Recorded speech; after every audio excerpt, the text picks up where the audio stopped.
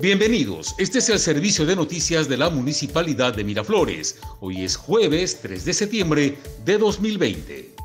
Un emotivo homenaje rindió la Municipalidad de Miraflores a la célebre compositora peruana Chabuca Granda, al conmemorarse el centenario de su nacimiento.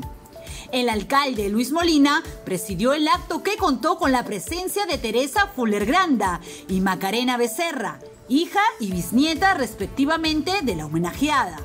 Un animado espectáculo musical con las más consagradas canciones de la autora de La Flor de la Canela, una muestra fotográfica y una intervención artística formaron parte del tributo. Asimismo, desde hoy se instaló un vinil al lado del cedro que ella salvó de ser talado en la cuadra 6 de la avenida 28 de julio de nuestro distrito frente al edificio donde vivió los últimos 20 años de su vida.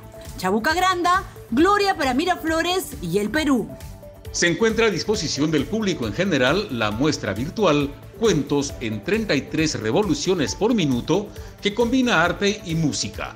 Se trata de una mezcla de música en vivo con carátulas de algunos de los vinilos de música rock más representativos de las décadas del 60 al 80 Puede apreciarla a través de la plataforma virtual www.salaslarco.com.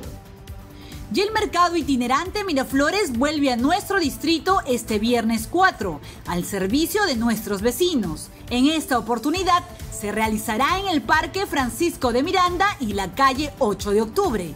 Campesinos de diversas partes del país ofrecerán productos agropecuarios a precio justo y con todas las condiciones de bioseguridad. El horario va de 8 de la mañana a 2 de la tarde. Los esperamos.